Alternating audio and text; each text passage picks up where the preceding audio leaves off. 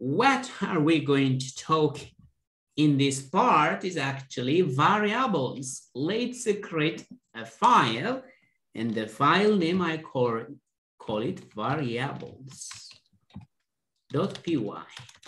Now, uh, so how do we declare variables? I think first it's good to talk about what are variables. Variables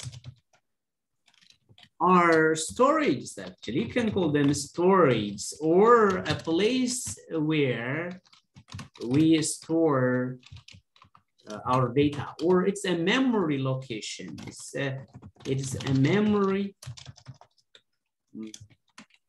location to store data or it's a container. It's a, a container. So I'm using this, the comment to write note, okay? So for instance, if I say A and if I put five, this doesn't mean A is equal to five. It's not, no. This symbol, we call it assignment operator. We are assigning five to A, okay? I am giving five to A. I am asking A to store five. Oh yeah? Yes, you should understand it that way. We are not saying A is equal to five we are saying here, please A, can you store five in your place? Yeah, it, it means that. So let's print five, I mean A. So I should get five. Oh yeah, great. And then let's store at B maybe instead. I think I usually prefer maybe four and three. And if A, and then how about if I print B? I should get, yeah. Now I can actually see A plus B. And what do you expect in C, guys? Seven. Seven, because some. Uh, how about if I say print uh, A minus uh, B, what do you expect from line number 11? It should be one. Yeah, it should be one, as you can see. So now we are just printing out before storing, but this way of writing is appreciated. It, it should, you should do it like this. We have to store it. So I can actually call this maybe instead of C, it's C is lame, right? Total the total of A and B. How about if I say difference, A minus B, right? How about if I do the uh, product of A times B? And if I call it the division, A divided by B. And if I call the remainder, A modulus B, we have been learning this. So, and the power or the exponential of a the power of b. So I want you to tell me, guys, what's the value in here in the total? Seven. Seven. What is in here? That's one, definitely. Yes, so A is four and B is three, it's one. And the product? A is three, A is 12. Four, yeah. 12, right? 12. Right, right. Yeah. So this means uh, 4 divided by 3. I think this is like 1.33 something. Yeah, there's a noise.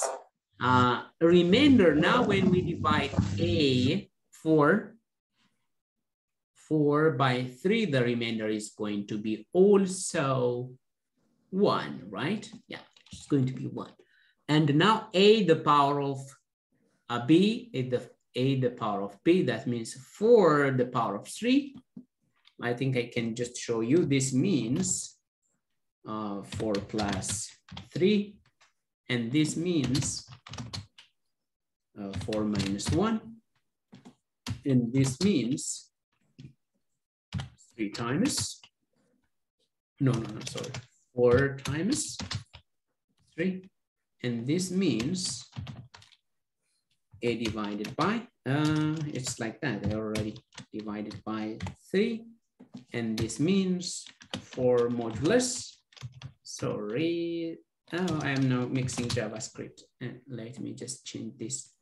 Uh, okay, what's a? 4 divided by 3. No, modulus, it should be the symbol. And this means 4 the power of 3, right? So uh, we are expecting here uh, 60, 64. 64, thank you. Uh, we're expecting here uh, 1. 1 and we're expecting here 1.33 something. Well, yeah, something like that. Right. And 12, and we're expecting 7. Uh, my keyboard is jumping. I don't know what happened. Oh, why? Okay, 7 and 1. So I have to also get it. The same thing C is not defined. Why? Because we don't have that anymore. So we have to, of course, print, hey, print the total. Now I can print, yeah, the total is seven. Guys, by the way, when you print like this, okay, seven, what is this seven? Where is it coming? You never know. Give it a label. Uh, the total, total, something like this, yeah? Now I'm labeling it.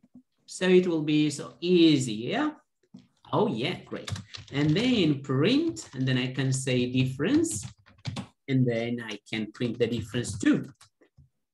So have you seen, I'm labeling it. So this one is actually, I am, I know that it comes from the difference. And then now you can say uh, product, and course you can also make this here if you want, and then product, yeah? and print again a division and you should say the division and the remainder print remainder remainder and print the exponential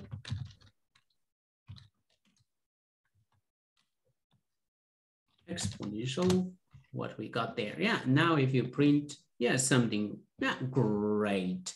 Now what we have learned is actually variables. So A is the variable, B is a variable, total is a variable. So it's variable name. How do we know a variable name? Variable name should be mnemonic. Mnemonic, what does that word mean?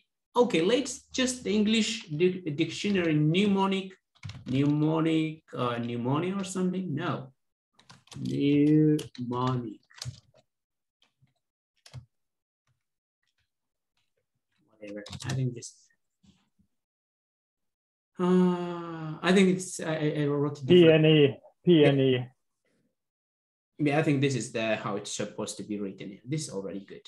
Uh, a mnemonic is a tool that helps us remember certain facts or a large, um, no,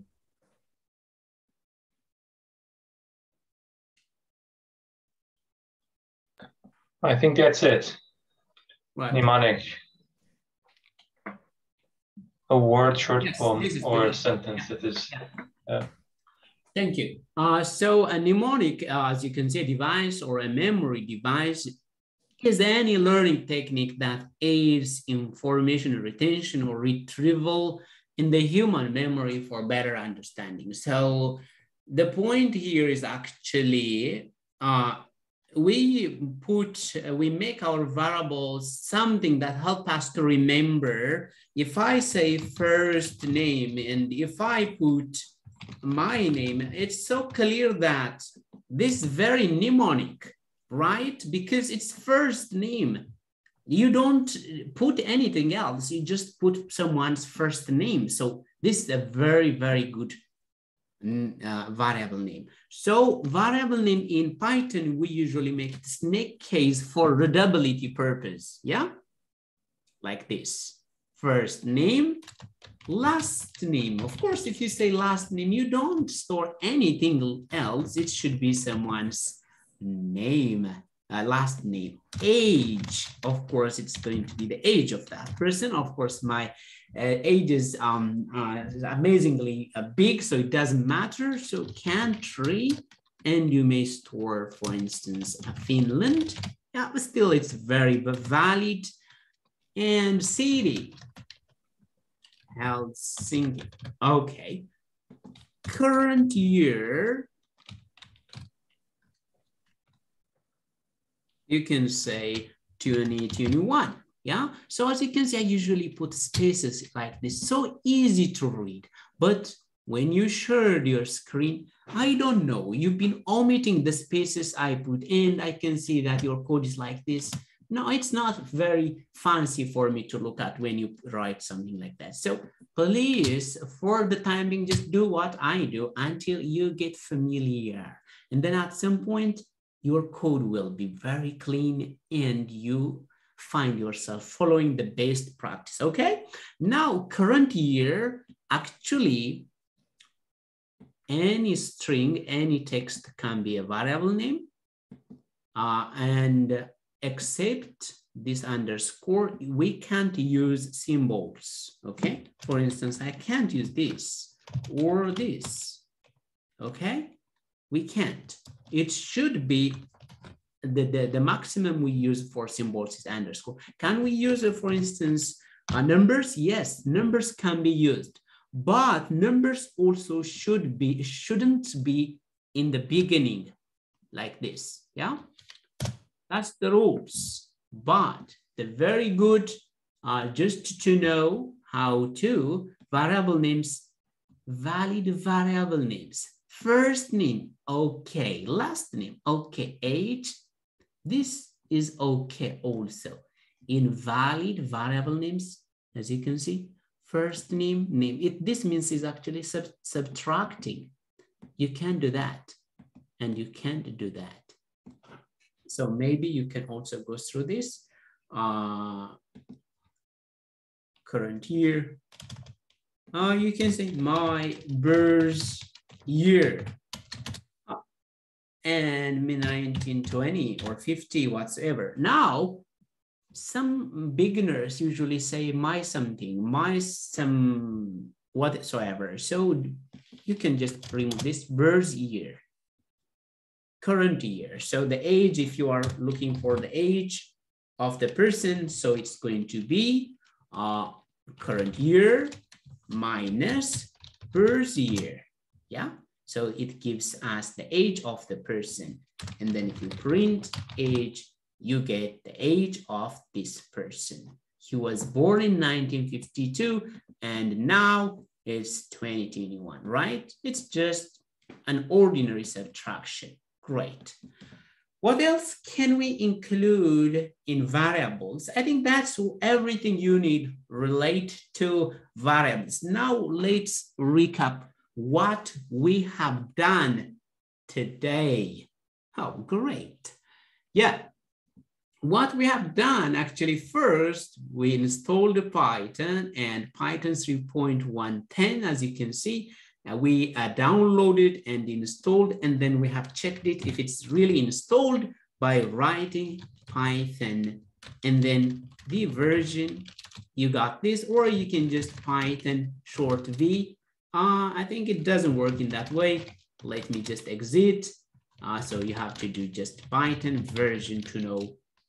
And if you want to open the Python interactive shell, you can write Python, something like this. And to exit, you can do exit and you have to invoke something like this. Yeah. No, but you can also write by and it will be opened and you can write whatever you want. Whatever you want. Yeah, how about if we don't write properly for Python? If you just write something like this, you have a bug. So you have to fix it. The process of fixing, we call it debugging. Python is so smart. it is showing you where the mistake is actually. So we have to fix, I have forgot, I, I forgot this additional, the closing quote. Now I have to run. I fixed my bug, the process of removing your mistake or finding your bug, we call it debugging. So let's just get out from here, run away. And another thing what we did actually, we installed the Visual Studio Code, the code editor we use from now on. Today we have learned using Visual Studio Code, we started from this, the taste, and we have practiced this, the arithmetic operation, the addition, subtraction, multiplication, division, the modulus remainder, the floor division, and then uh, again, uh, modulus. But why I didn't include, for instance, the exponential, the exponential, uh, the exponential, uh, how about this? Three, the power of three, and it's going to be 27. Yeah, we have seen it in different places anyway. Hello world, I have used also this just to print some text. And now you should be very, very familiar with print uh, built-in function and you have to know how to use it, right? Yeah, of course. And then actually we learned different uh, built-in function, including print, length, input, round off, and then again, more absolute value and the int, the string, the sum, the minimum, maximum type, the bool, range, and the ID, and also the list and the dir. But you don't have to remember them all together at once on the go. We learn them one by one. So just feel, feel free and just be happy. Just knowing print is good enough for today. Uh, what else did we learn? Actually, we have learned also the data types. We have seen uh, number, including int, float, and complex, and the string, and the list, and the tuple, the set, and the dictionary. Okay, list is an ordered list. Tuple is also an ordered list, but we can't modify tuple. And the set, and the set is actually it doesn't allow duplicates and it's not ordered. The order doesn't matter. Dictionary, the order doesn't matter. And it's key value, key value, key value, like Sana, Word, Talo, Have, something like that. And uh, what else in this file? There's nothing amazing in this file. Yeah, let me see. What is the extension you are using for code colors, please? Maybe I think I am using this one. Uh, this uh, colorizer highlight juice i think it's not actually colorizer now maybe even i for some reason it has it, it has been removed. And i want to also install this one because uh, how what how does it work? As you can see this is a different color this is a different color. Yes this is also nice uh, this is something I didn't know, I haven't seen, but I don't need this one. Yeah, maybe you can write a bracket pair. This is really good. So this and this is now, as you can see, purple, uh, and this is uh, uh, orange, and this is blue. So it makes a distinction between the different blocks, right? So maybe that can help yeah, that was today's lesson, guys. Thank you so much for uh, for staying up to this time. You are just amazing.